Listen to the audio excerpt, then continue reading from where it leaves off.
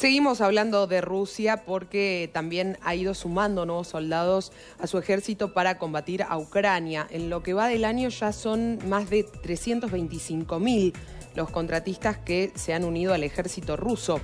Así lo indicó el vicepresidente del Consejo de Seguridad de Rusia, Dmitry Medvedev, en una reunión sobre la dotación de las Fuerzas Armadas.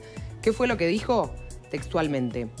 Seguimos trabajando para complementar las Fuerzas Armadas con militares contratados y controlar las actividades de combate y de elevación de la moral. Del 1 de enero al 26 de septiembre de este año se han alistado más de 325.000 hombres. Esto fue lo que han señalado, ¿no? Anteriormente recordemos que el presidente ruso Vladimir Putin había informado que entre 1.000 y 1.500 personas venían cada día para firmar contratos con las Fuerzas Armadas rusas. También señaló que a mediados de septiembre 300.000 habían firmado contratos de alistamiento militar y bueno, y este es el registro que se tiene al día de la fecha. Son más de 325.000 los soldados que se han unido a lo largo de este 2023 al ejército ruso.